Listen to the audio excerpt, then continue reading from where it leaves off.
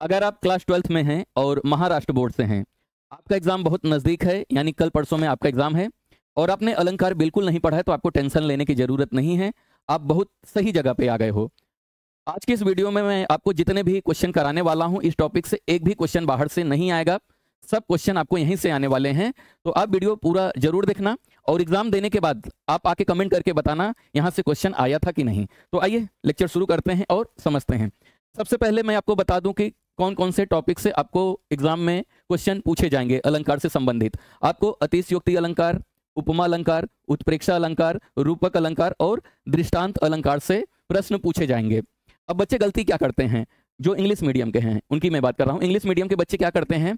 ये जो इसकी वर्तनी है, वर्तनी का मतलब है स्पेलिंग स्पेलिंग गलत लिख देते हैं, जिसके कारण उनका मार्क्स कट जाता है। तो आपको ध्यान में रखना है अतिशयोक्ति कैसे लिखा जाता है, उपमा कैसे लिखा जाता है, उत्प्रेक्षा कैसे लिखा जाता है, रूपक और दृष्टांत सब कैसे लिखते हैं, इसका प्रैक्टिस कर लेना। बच्चे पहचान तो लेते हैं, लेकिन यहाँ पे स्पेलिंग मिस्टेक कर देते हैं, जिनके कारण उनका नंबर कट जाता है। तो इस बात को आपको ध्यान में रखना है। तो आइए क्वेश्चन देखते हैं, कैसे आपको परीक्षा में पूछा जाएगा। आपको पूछा जाएगा, निम्नलिखित पंक्ति में से उद्धृत अलंकार पहचान कर उसके नाम लिखिए। तो आपको ऐसा एक स्टेटमेंट दे दिया जाएगा और आपको पहचान के लिखना होगा कौन सा अलंकार है। एक बात याद रखना, आपको ऑप्शन नहीं दिया जाएगा। मैंने यहाँ पे ऑप्शन इसलिए दिया है ताकि आपका प्रैक्टिस हो जाए। लेकिन आपके एग्ज़ाम में जो क्वेश्चन आएगा ऐसे डायरेक्टली आएगा, आपको खुद से पहचान कर उसका नाम लिखना रहेगा।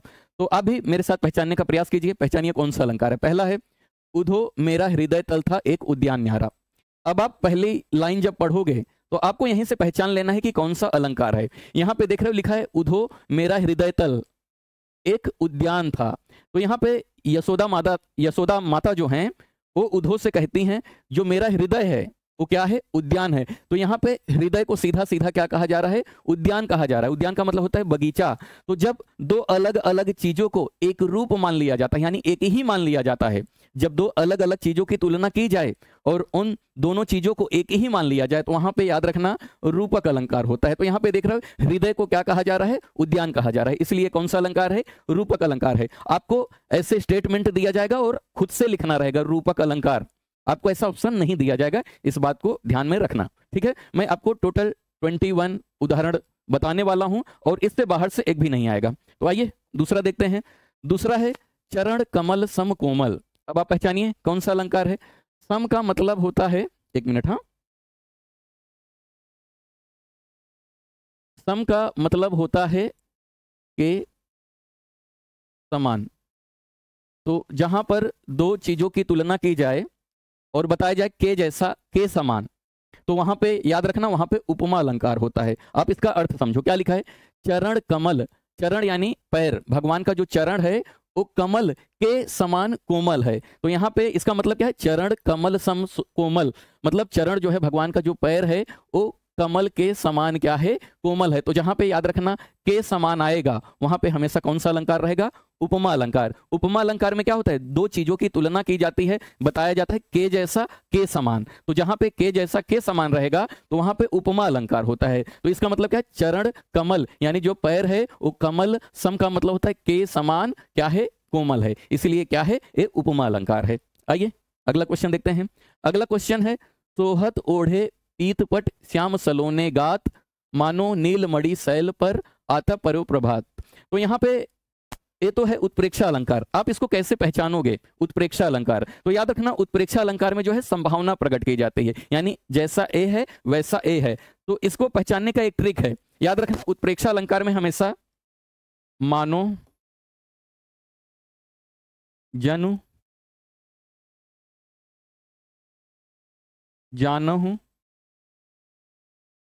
मनु, मानहू, ऐसे शब्द आते हैं। तो इसको याद रखना, मानो, जनु, जानहू, मनु, मानहू, जहाँ पे ऐसे शब्द आपको दिखाई दें, आप आँखें बंद करके लिख देना। कौन सा अलंकार? उत्प्रेक्षा अलंकार। उत्प्रेक्षा अलंकार में क्या होता है? दो चीज़ों को इस रूप से देखा जाता है, संभावना प्रकट किया जाता है, जैसा ए है, वैसा ए है। आप इसका अर्थ समझो। क्या लिखा है? सोहत ओढ़े पीत पट श्याम सलोने गात। सोहत ओढ़े, यानी खूबसूरत लग रहे हैं। कौन? कृष्ण भगवान। पीला पीताम्बर पहन के पीत पट यानी पीला कपड़ा पहन के सुंदर लग रहे हैं। कौन? श्याम सलोने, यानी कृष्ण भगवान। मानो, यहाँ पे देखो क्या आ गया? मानो, इसकी यही पहचान है। तो जहाँ पे आपको मानो, जनु जाना हूँ मनु माना हूँ ऐसे शब्द आएँगे तो समझ लेना कौन सा अलंकार है? उत्प्रेक्षा अलंकार है। मानो नीलमणि शैल पर नीलमणि एक पत्थर होता है जो नीले कलर का होता है।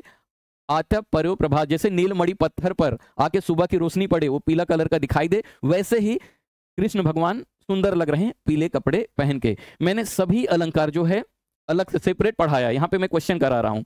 अगर आपको सभी अलंकार सेपरेट देखना है तो उसका वीडियो आपको नीचे डिस्क्रिप्शन में मिल जाएगा। नहीं तो आप प्लेलिस्ट में जाके सभी अलंकार जो है, अच्छे से देख सकते हो। ठीक है? अगला क्वेश्चन देखते हैं। अगला क्वेश्चन है, पत्रा ही तिथि पाइयो व घर के चौपास नित प्रति पुण्यो रहो आनंद ओप उजास। आप पहले इसका अर्थ समझो, तब बताओ कौन सा अलंकार है।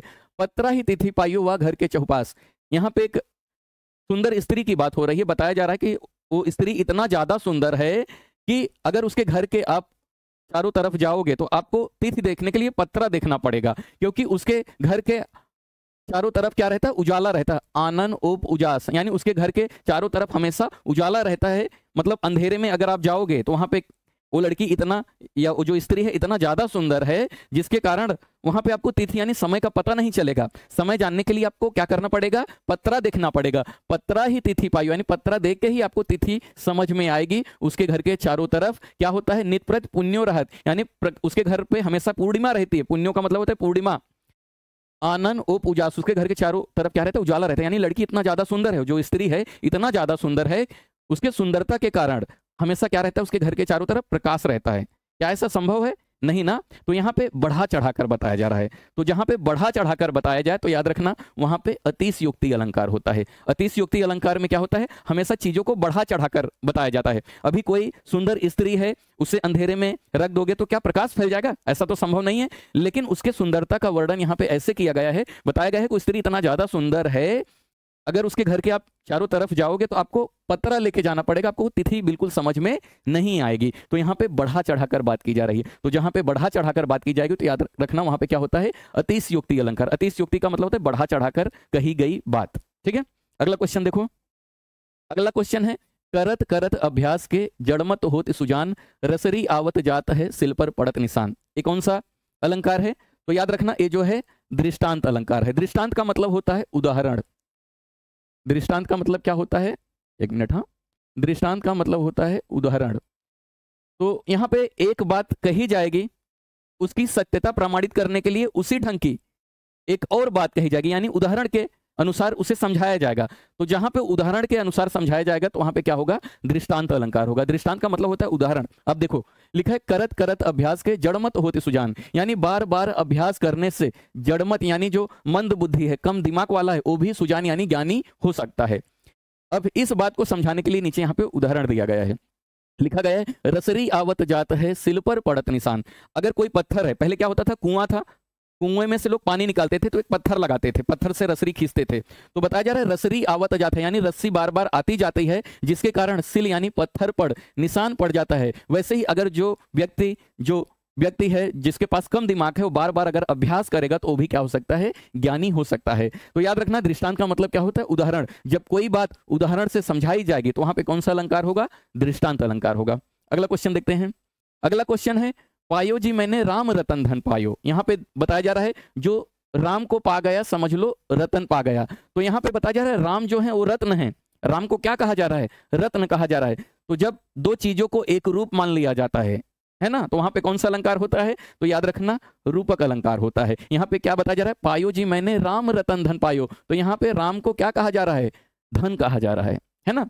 भगवान राम को क्या कहा जा रहा है? धन कहा जा रहा है। जो प्रभु श्री राम को पा गए समझ लो, रत्न पा गए समझो, धन पा गया तो यहाँ पे दो चीज़ों की तुलना की जा रही है, लेकिन कैसे? उन दोनों चीज़ों को एक रूप मान लिया जा रहा है। तो जहाँ पे दो चीज़ों को एक रूप मान लिया जाएगा तो वहाँ पे कौन सा अलंकार होगा? रूपक अलंकार होगा। अगला उदाहरण देखते हैं। अगला उदाहरण है, राधा वदन चंद सो सुंदर। सो का मतलब होता है के समान। तो के समान कौन से अलंकार में आता है? तो याद रखना के समान जो है उपमा अलंकार में आता है। इसका मतलब समझो, राधा, वदन, चंद, सो सुंदर। राधा का जो वदन है, वदन का मतलब है चेहरा। चंद्रमा के समान सुंदर है तो यहाँ पे क्या आ गए के समान। तो जहाँ पे दो चीज़ों की तुलना की जाएगी, के जैसा के समान तो वहाँ पे कौन सा अलंकार रहेगा? तो याद रखना वहाँ पे उपमा अलंकार रहेगा। क्लियर? आगे समझते हैं। अगला क्वेश्चन है, उस क्रोध के मारे तन उसका कांपने लगा। मानो हवा के ज़ोर से सोता हुआ सागर जगा तो यहाँ पे देख रहे हो, एक शब्द आया है, मानो। तो इस चीज़ को ध्यान रखना, उत्प्रेक्षा अलंकार में हमेशा मानो, जनु जानो मनु मानो ऐसे शब्द आएँगे। तो जहाँ पे ऐसे शब्द आपको दिखाई दें, आपको आँखें बंद करके टिक कर देना है या लिख देना है, वो कौन सा अलंकार है? उत्प्रेक्षा अलंकार है। उत्प्रेक्षा अलंकार में क्या की जाती है? संभावना प्रकट की जाती है, जैसा ए है, वैसा ओ है। आप इसका अर्थ समझो। उस क्रोध के मारे तन का मतलब होता है, शरीर उसका कांपने लगा है। यानी अर्जुन का जो शरीर है, गुस्से के कारण कांपने लगता है। कैसे कांपने लगता है? जैसे हवा के ज़ोर से सोता हुआ सागर उठा। कोई सागर एकदम शांत है, हवा ज़ोर से चले, सागर की पानी ऊपर उठ जाए, वैसे ही यहाँ पे क्या हो रहे हैं? अर्जुन जो है, उनका जो गुस्सा है उनका जो क्रोध है, वैसे ही आता है। तो यहाँ पे संभावना प्रकट की जा रही है, जैसा ए है, वैसा ओ है। इसलिए क्या है? उत्प्रेक्षा अलंकार। तो उत्प्रेक्षा अलंकार में जानो, जन, मानव, मनु, जैसे शब्द आते हैं, याद रखना, ठीक है? अगला देखते हैं। अगला है, हनुमंत की पूछ में लग न पाई आग। लंका सगरी जल गई गए निशाचर भाग। हनुमान जी के पूछ में आग लगने से पहले, इसका अर्थ समझो, हनुमंत की पूछ में लग ना पाई आग, यानी हनुमान जी के पूछ में आग लगने से पहले पूरी लंका जल जाती है और पूरे निशाचर जो राक्षस हैं, वो भाग जाते हैं। जब हनुमान जी लंका में जाते हैं है ना? लंका में जाते हैं, सीता माता का पता लगाने। तो यहाँ पे बताया जा रहा है कि हनुमान जी के पूछ में आग लगने से पहले ही लंका जल जाती है और निशाचर भाग जाते हैं। तो यहाँ पे बढ़ा चढ़ा के वर्णन किया गया है। तो जहाँ पे बढ़ा चढ़ा के वर्णन किया जाएगा तो याद रखना वहाँ पे कौन सा अलंकार होगा? अतिशयोक्ति अलंकार। अतिशयोक्ति अलंकार का मतलब होता है बढ़ा चढ़ाकर कही गई बात। तो यहाँ पे क्या बताया जा रहा है? हनुमान जी के पूछ में आग लगने से पहले ही लंका जल जाती है और राक्षस भाग जाते हैं। जबकि ऐसा नहीं हुआ था। हनुमान जी के पूछ में पहले आग लगाई जाती है, फिर उसके बाद वो लंका जलाते हैं, फिर उसके बाद राक्षस भागते हैं। तो यहाँ पे थोड़ा सा बढ़ा चढ़ाकर बात कही गई है, इसलिए क्या है, याद रखना, एक कौन सा अलंकार है? अतिशयोक्ति अलंकार है। अगला उदाहरण देखते हैं।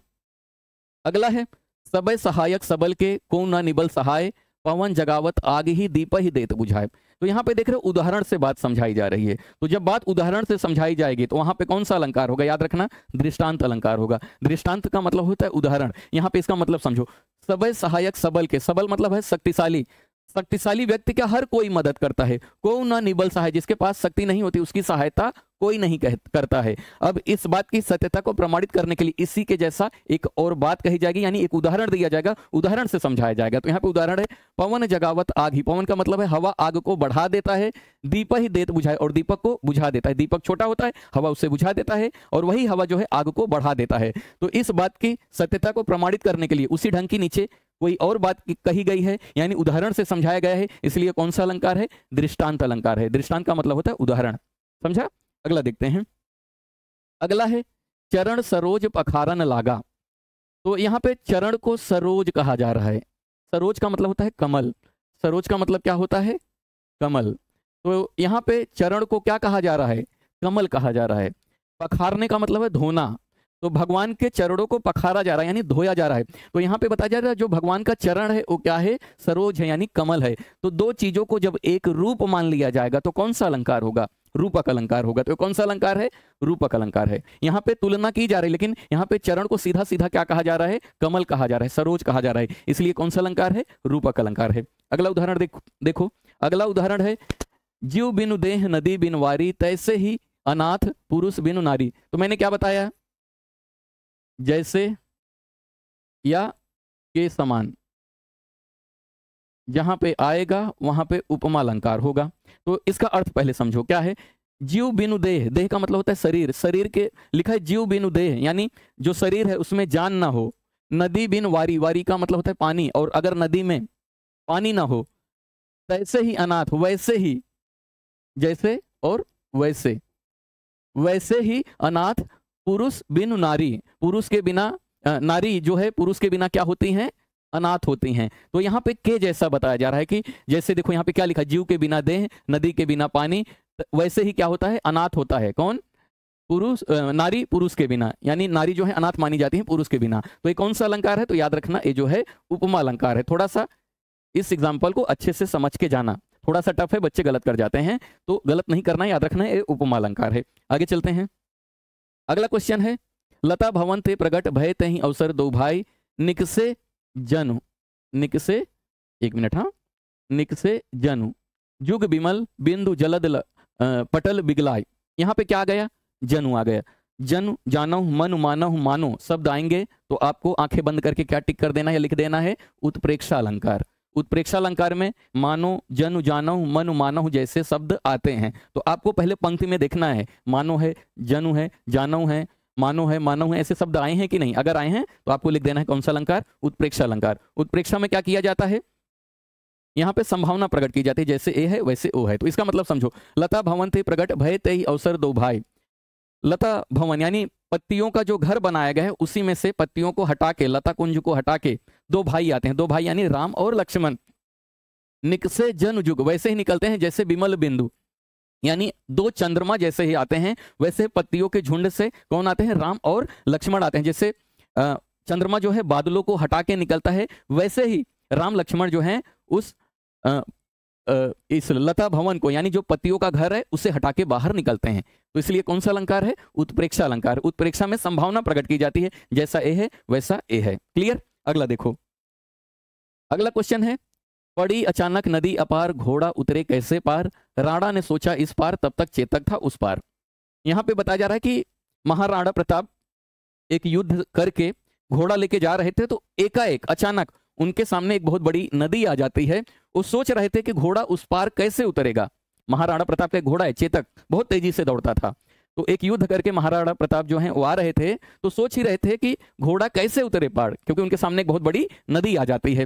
राणा ने सोचा इस पार तब तक चेतक था उस पार। राणा के सोचने से पहले घोड़ा क्या होता है, उस पार पहुँच जाता है। यानी नैनो सेकंड में जो है, घोड़ा उस पार चला जाता है। तो यहाँ पे देख रहे हो, बढ़ा चढ़ाकर बात कही जा रही है। इतना जल्दी तो कुछ समय लगेगा ना उस नदी को क्रॉस करने में, डाकने में। तो यहाँ पे देख रहे हो, बढ़ा चढ़ाकर बात कही जा रही है। तो जहाँ पे बढ़ा चढ़ाकर बात कही जाएगी, वहाँ पे कौन सा अलंकार होगा, याद रखना? अतिशयोक्ति। अतिशयोक्ति का मतलब होता है बढ़ा चढ़ाकर कही गई बात। ठीक है? अगला उदाहरण देखो। अगला उदाहरण है, एक म्यान में दो तलवारें कभी नहीं रह सकती। किसी और पर प्रेम पति का नारिया नहीं सह सकती। तो इसका मतलब समझो, एक म्यान में तलवार रखने का जो कवर होता है, उसे हम लोग क्या कहते हैं? म्यान कहते हैं। एक म्यान में दो तलवार नहीं रह सकती। एक तलवार रखने का जो कवर होता है, उसे म्यान कहा जाता है। एक म्यान में दो तलवार कभी नहीं रह सकती। अब इस बात को समझाने के लिए नीचे उदाहरण दिया गया है। किसी और पर प्रेम पति का नारियाँ नहीं सह सकती। अगर कोई पति है, दूसरे पत्नी से या किसी दूसरे स्त्री से प्रेम करे तो नारियाँ बिल्कुल बर्दाश्त नहीं कर सकती, वैसे ही एक म्यान में दो तलवारें कभी नहीं रह सकती। तो इस बात को समझाने के लिए नीचे उदाहरण दिया गया है। जब बात उदाहरण से समझाई जाएगी तो कौन सा अलंकार होगा? याद रखना, दृष्टांत अलंकार होगा। अगला देखते हैं। अगला है, सिंधु सेज पर धरा वधु अब तनिक संकुचित बैठी सी। यहाँ पे सिंधु को सेज कहा जा रहा है। सेज का मतलब होता है बिस्तरा, बेड। बिस्तरा होता है ना, बेड, सोने वाला जो बेड। सिंधु नदी को क्या कहा जा रहा है? सिंधु एक नदी है, उसे क्या कहा जा रहा है? सेज, यानी बिस्तरा कहा जा रहा है। धारा को क्या कहा जा रहा है? दुल्हन कहा जा रहा है, वधु। वधु का मतलब होता है दुल्हन। तो जब दो चीज़ों को एक रूप मान लिया जाए तो वहाँ पे कौन सा अलंकार होगा? रूपक अलंकार होगा। यहाँ पे देख रहे हैं, सिंधु नदी को सेज कहा जा रहा है धरा यानी पृथ्वी। धरा मतलब पृथ्वी, धरती। उसे क्या कहा जा रहा है? वधु यानी दुल्हन। सिंधु को बेड बताया जा रहा है, और धरा को दुल्हन बताया जा रहा है, अब तनिक संकुचित बैठी सी।